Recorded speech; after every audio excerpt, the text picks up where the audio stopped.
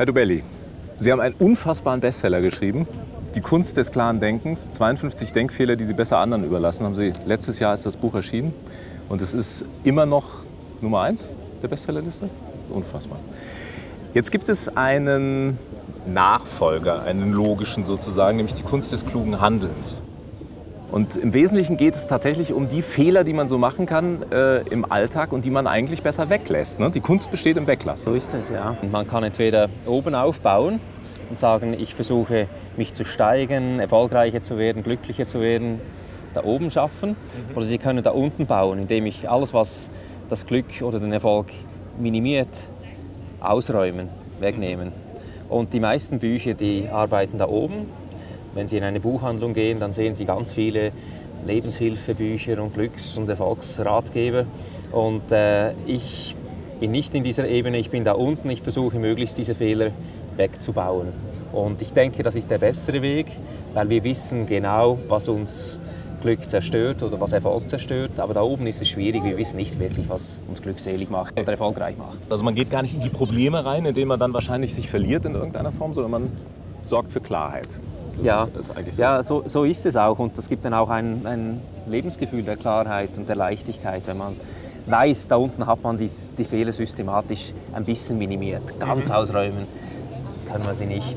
Auch mir gelingt es nicht, diese ganz auszuräumen. Aber wenn wir es nur schon schaffen, ein paar Prozentpunkte weniger Fehler zu machen, dann ist schon viel gewonnen. Können Sie mal ein Beispiel aus Ihrem Buch geben, aus Ihrem aktuellen? Was, was ist denn so eine äh, Falle, die ich vermeiden kann? Ich habe einem Freund von mir geholfen, umzuziehen von einer Stadt in die andere und er hat schöne Murano-Gläser, alte Murano-Gläser, die sehr zerbrechlich sind und er hat mich gefragt, weil er will sie nicht dem, dem Unternehmen geben, die das verpackt und äh, dem Logistikunternehmen. Also er wollte sozusagen diesen Umzug für ihn machen. Genau. Mhm. Und nur die Gläser und habe ich gemacht, ja. weil ich fuhr eh nach Zürich und äh, habe das dann dort abgegeben und die waren also noch ganz, die habe ich nicht kaputt gemacht. Und er hat mir dann zum Dank nachher eine Note geschickt. Ähm, gesagt, 100 Franken. 100 Franken, das ist sehr lieb von dir. Danke, ich gebe dir da was. Mit dem kannst du irgendwas in, äh, in ein Restaurant etwas essen, zu essen gehen. Ähm, und das hat dann die ganze Sache ein bisschen zerstört, unsere mhm. Freundschaft. Mhm. Es war gut gemeint, aber sobald Geld ins Spiel kommt, ist eine ganz andere Motivation da. Und das ist ein Denkfehler. Oft denken wir, Geld ins Spiel, dann ist die Sache klar. Mhm. Aber oftmals verändert sich das zum Schlechten. Mhm. Und da muss man aufpassen.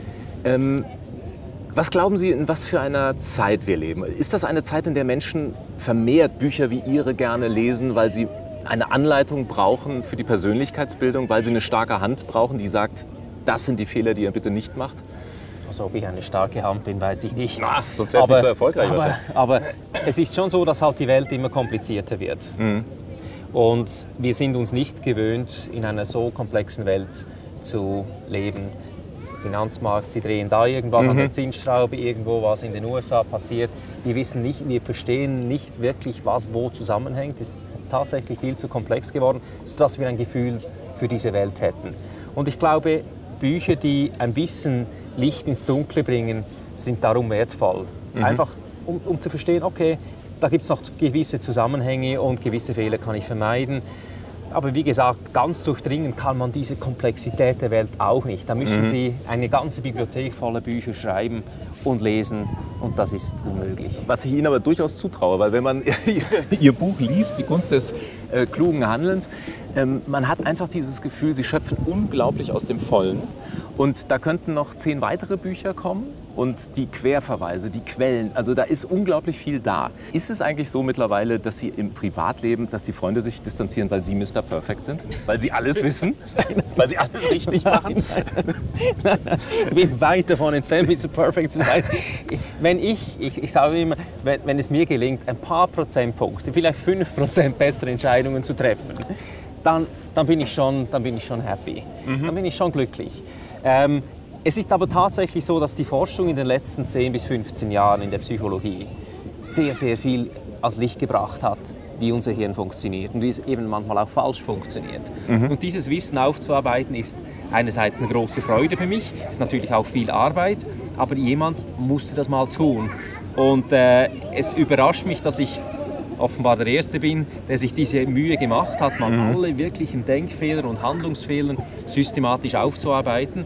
Ähm, ich habe das zuerst für mich selbst gemacht und erst nachher kam dann das zu einem Buch. Aber ja, mir macht es Spaß, darüber nachzudenken und darüber nachzulesen bei diesen Forschungsresultaten. Wenn Sie an Ihre Leser denken, möchten Sie den Menschen an sich verbessern oder ihm helfen, dass er sich verbessern kann? Oder möchten Sie seine Leistung verbessern mit einem Buch, was Sie schreiben? Sehr gute Frage. Ich, ich möchte, dass er bessere Entscheidungen trifft für sich selbst, damit er nachher am Endeffekt glücklicher ist, ein besseres mhm. Leben hat. Also im Pressetext zu Ihrem Buch wird behauptet, Sie schauen keine Nachrichten. Das stimmt, ja? Das stimmt, ja. Keine Nachrichten, kein Fernseher, kein Radio, kein Fernseher? keine Zeitungen und keine News-Apps auf dem Computer. Und trotzdem sind Sie ein unglaublich erfolgreicher Mensch, stehen mitten im medialen Leben. Ähm, wie, warum meiden Sie all diese Dinge? Nein, nein, vielleicht ist das das Geheimnis des Erfolgs. Ah. Also würde ich jetzt mal sagen, weil das gibt mir so viel Zeit, mich mit den wichtigeren Dingen zu befassen und zwar in die Tiefe zu gehen, mhm. mich, mir die Zeit zu nehmen, ein Buch zu lesen über ein Thema, um es wirklich zu verstehen, statt nur immer oberflächliche News zu gucken. News, Nachrichten aus aller Welt, sind, ist wie ein Flackern auf der Oberfläche dieser Weltkugel, die wir haben, aber wir sehen nicht die Zusammenhänge. Und man braucht schon ein Buch, oder ein paar Bücher zu lesen zu einem Thema, damit man die, die Generatoren dieser Events versteht, die Zusammenhänge. Mhm. Und ich möchte die Welt verstehen. Herr Dubelli, vielen Dank fürs Gespräch. Danke.